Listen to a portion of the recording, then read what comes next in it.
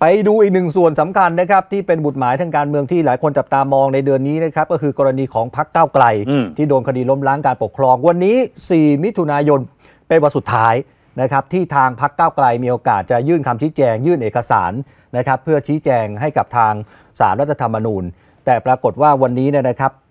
ก็มีข่าวนะครับว่าช่วงบ่ายพักเก้าไกลที่มีการจะมีการประชุมพักนะครับแล้วต้องยื่นคำชี้แจงต่อสู้ในคดีล้มล้างการปกครองนะครับ หรือว่าบางคนก็เรียกว่าคดียุบพักเก้าไกลนี่ยนะครับ เป็นไปตามกรอบเวลา แต่ปรากฏว่า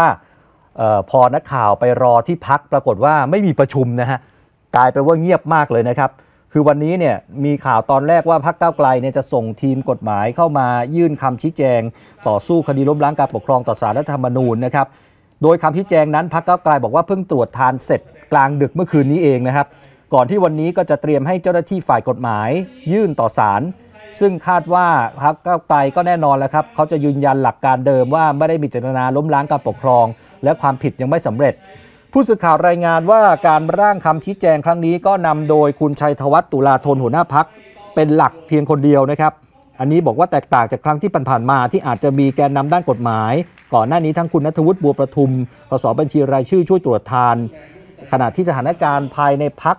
แหล่งข่าวระบุนะครับว่ามีสสพักก้าวไกลเนี่ย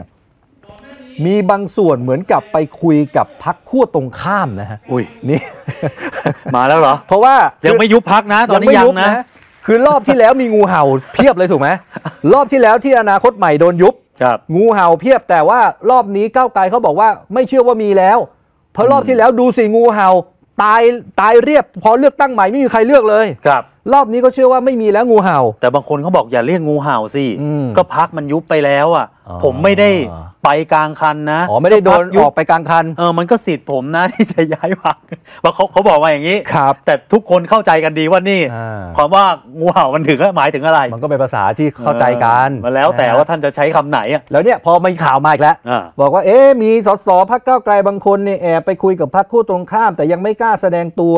เนื่องจากกังวลข้อคอรหาว่าจะกลายเป็นงูเห่านี่ฮะแล้วก็มีการกำชับนะครับสสจากแกนนำพักบอกว่าเฮ้ยใจเย็นๆขอให้เชื่อใจกันอืมให้เชื่อใจกันและกัน เพราะตอนนี้พักเขาบอกว่าเตรียมการไว้แล้วไง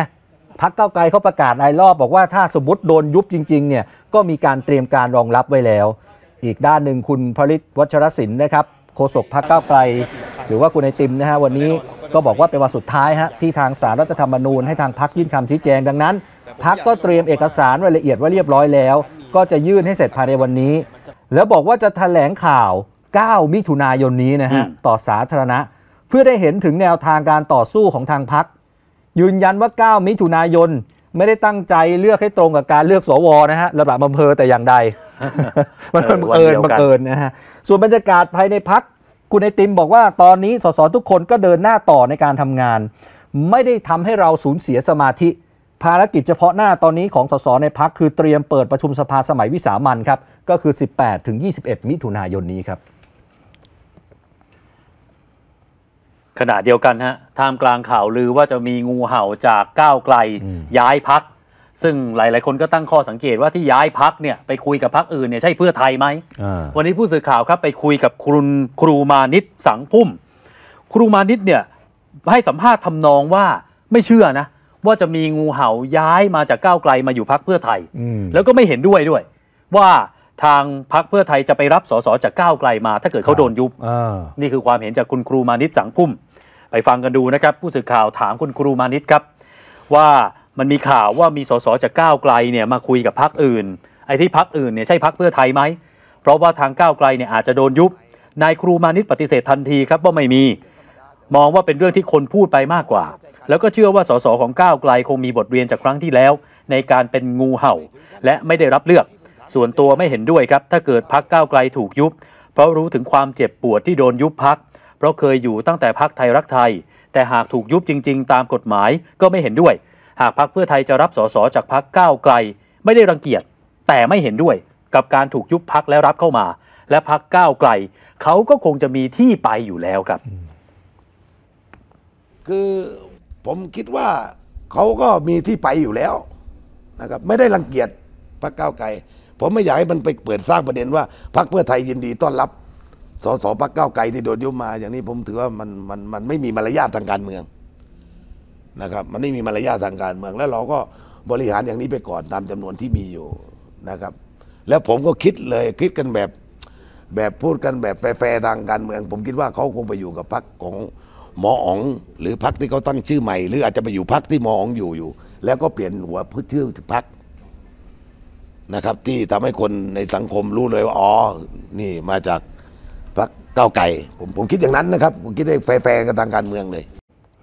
เออถ้าย้ายเขาก็ไม่มาพักผมหรอกไปที่พักที่หมออ๋องเขาย้ายไปคือพักเป็นธรรมเออนะหรือว่าพักที่เตรียมมาไว้ นายครูมานิตกล่าวต่อนะครับนะว่าอ่าหากโดนยุบจริงๆเนี่ยก็คิดว่ามีพักรองรับอยู่แล้ว ก่อนจะย้อนถามผู้สื่อข่าวด้วยว่าเขาไปพักอะไรนะอ่านายครูมานิตก็บอกอีกว่าคิดว่าสสก้าวไกล ถ้าไม่ไปอยู่กับพักของนายปฏิพัฒน์ก็อาจจะไปพักที่เขาตั้งชื่อใหม่หรือเปล่าอืมก็เห็นว่ามีการเตรียมการอะไรไว้แล้ว